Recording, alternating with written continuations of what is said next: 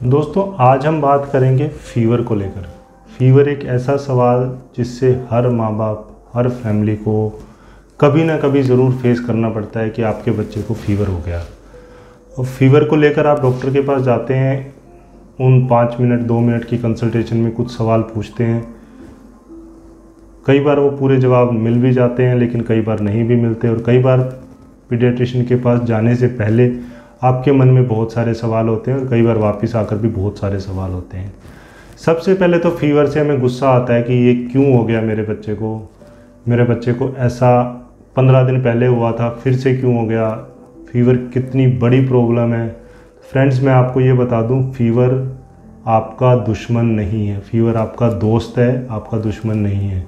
दोस्त है सुनने में बड़ा अजीब लग रहा है कि फ़ीवर हमारा दोस्त है। कैसे है?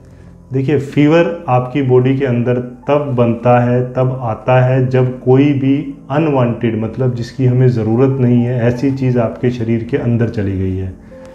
अनवांटेड चीज़ आपके अंदर मीन्स बैक्टीरिया वायरसेस कीटाणु वैक्सीन ऐसी कोई भी चीज़ आपके शरीर में गई है तो आपका शरीर उसको आपके शरीर से निकालने की कोशिश करता है।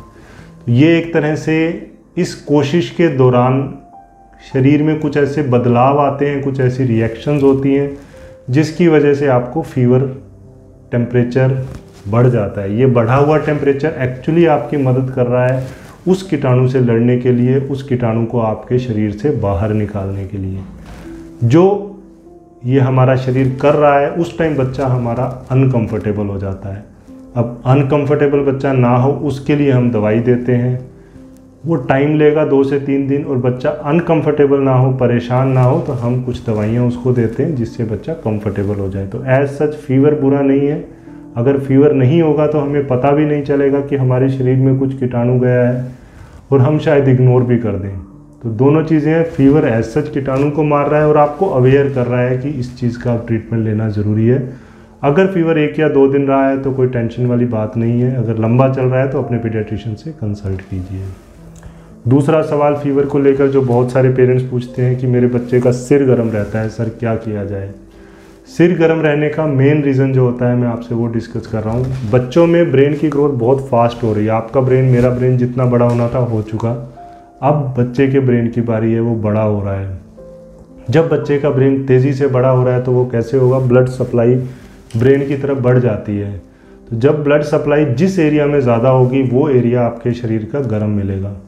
क्योंकि यहाँ पे ब्लड सप्लाई ज़्यादा है तो फोरहेड हमेशा गर्म मिलता है।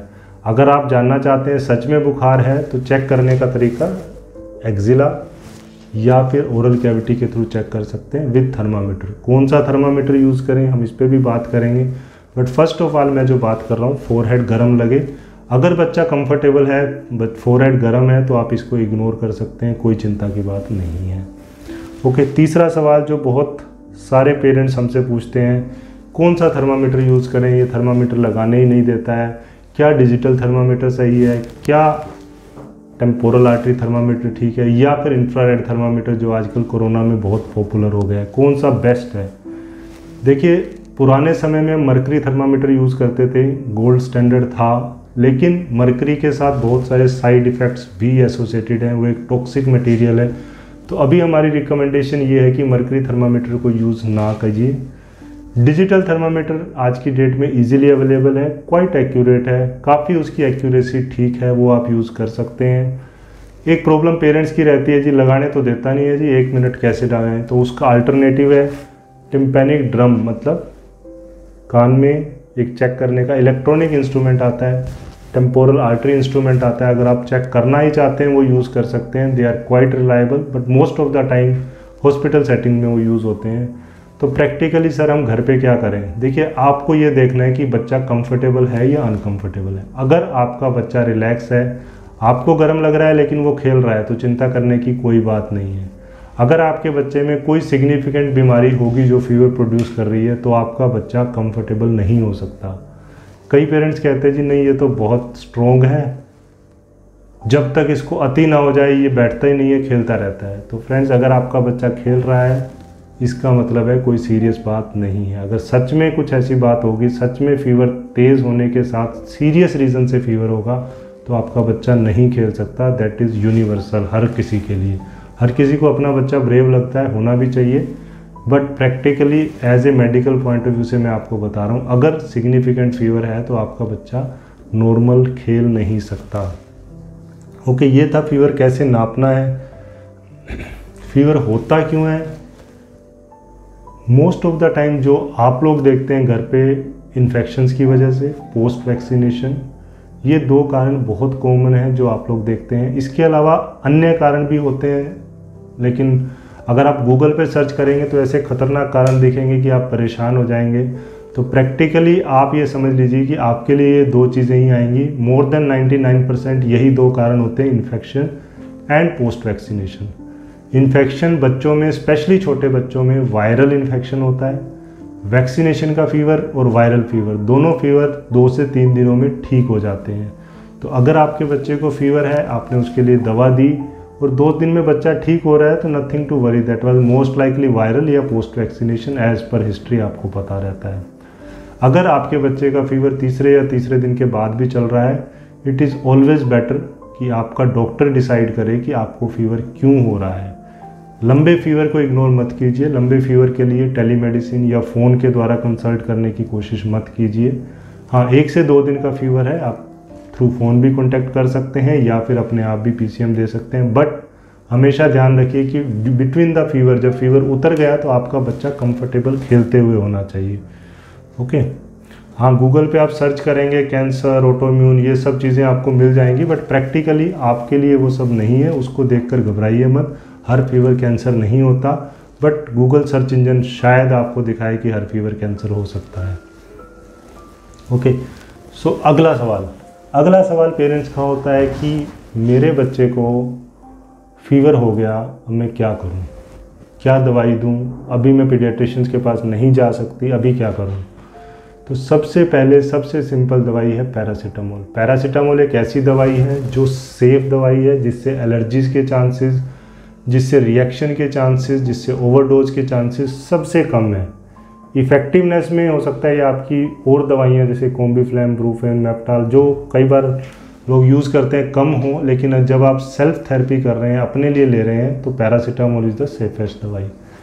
ये आप दिन में तीन से चार बार भी ले सकते हैं। जब आप पैरासीटामोल देंगे, आपके बच्चे का फीवर कम हो जाएगा। हो सकता है नॉर्मल ना हो।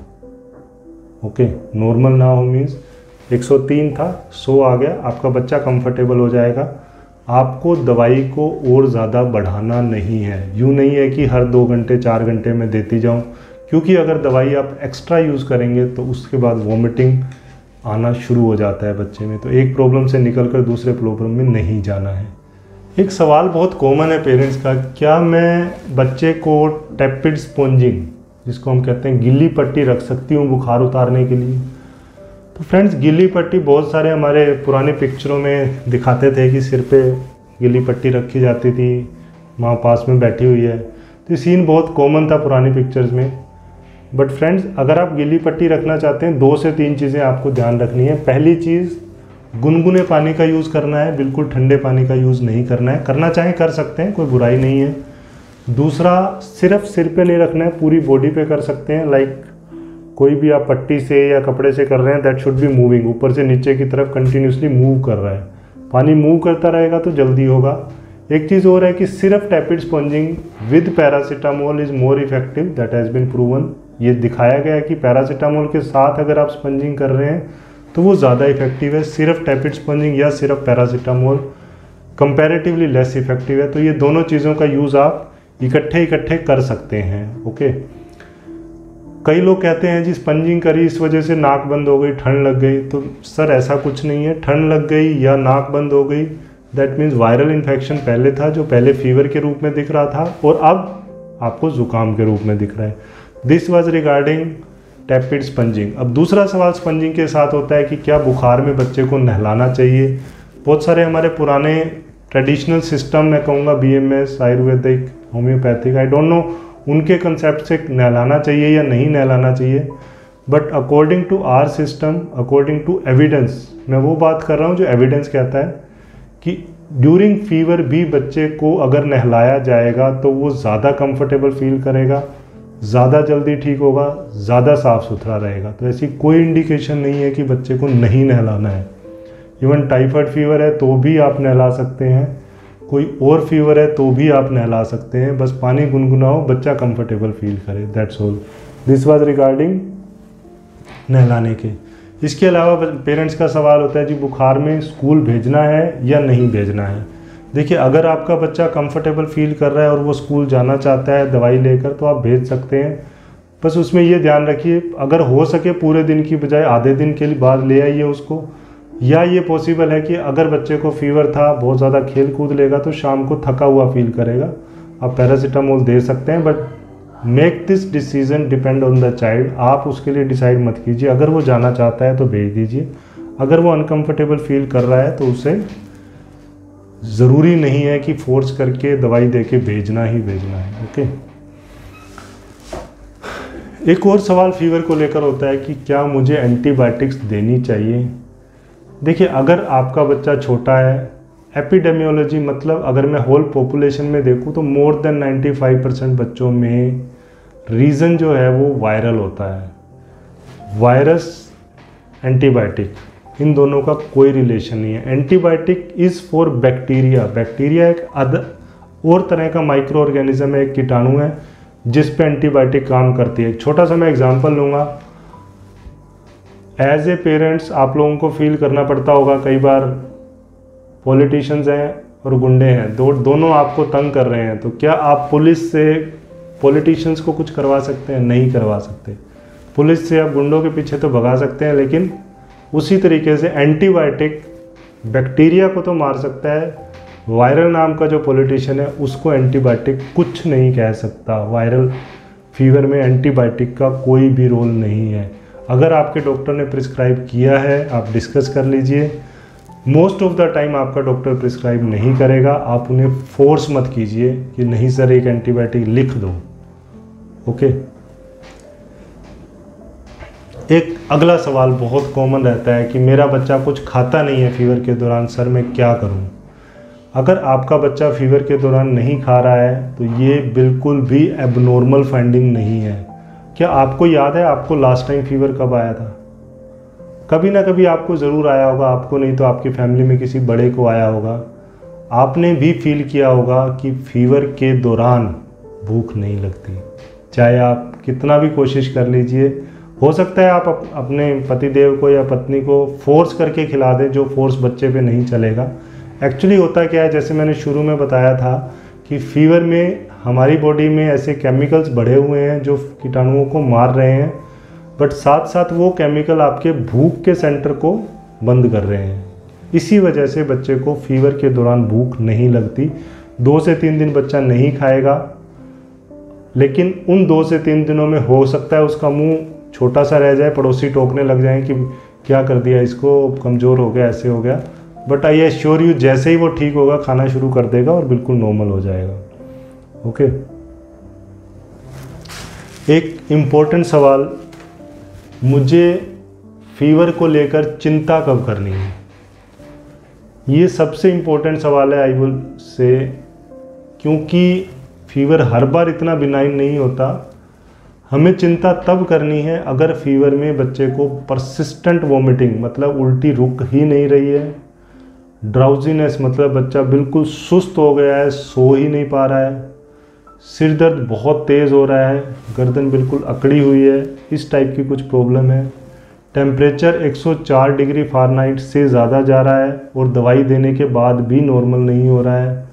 बच्चा अजीब अजीब सी बातें कर रहा है। ऐसे केस में आपको इमीडिएटली डॉक्टर के पास जाना है, चाहे रात के 12 बजे हो, चाहे रात के सुबह के दो बजे हो। किस केस में हमें डॉक्टर के पास भागने की ज़रूरत नहीं है? ऐसी कौन सी व्यवस्था है? ऐसी कौन सी चीज़ें हैं जो हमें श्योर कर सकती हैं। अगर आपका बच्चा अच्छे से फ़ीड ले रहा है, खेल रहा है, कूद रहा है, पेशाब अच्छे से कर रहा है और अभी एक या दो दिन हुए हैं तो देर इज़ नो हरी कि एकदम मुझे जाना ही जाना है। एक और कॉमन सवाल, क्या फीवर से दौरे पड़ते हैं? क्या फीवर दिमाग में चढ़ जाता है?